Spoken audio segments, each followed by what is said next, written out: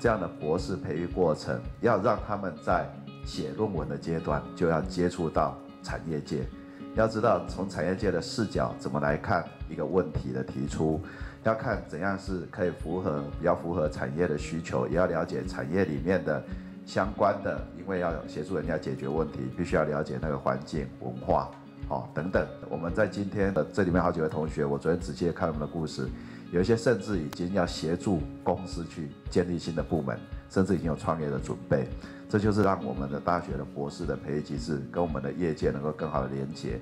那也替我们的整个博士班，好，可以找到更好的一个哦发展的方向，好。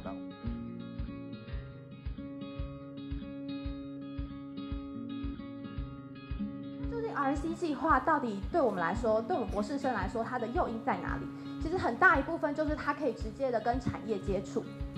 直接跟产业接触，可以深入了解产业现在实际面临的困问题以及困难，以他们的面向直接跟他们沟通讨论，我们可以知道整个产业的实况、现在发展的状况以及他们的症结点、他们的困难点到底是什么。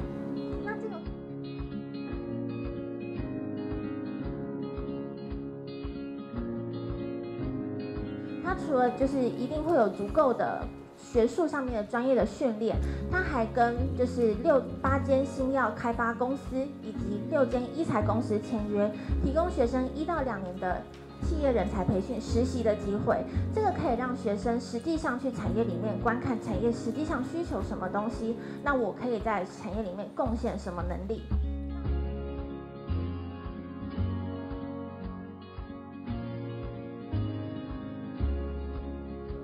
我们实验最主要需要能够做出一个资源自驾车的一个通讯系统。那我主要是处理呃干扰的问题。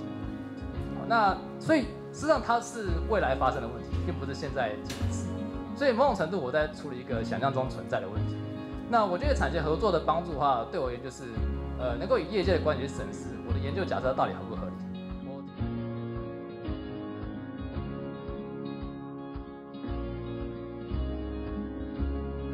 在这个计划中，智慧防灾是我们呃这个计划的总体目标。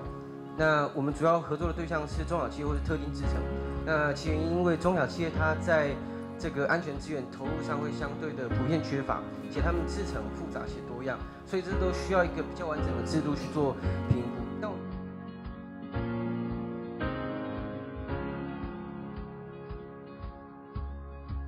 呃，我发现说，其实人资人力资源管理系统这件事情是每一个公司都需要的。很多大公司他们可能已经非常健全，可是中小企业的一个呃人力资源管理的配套，其实跟大公司会是不太一样的管理方式。因此，我们在这个过程当中，我们有很多很多协助他们的一个机会。不管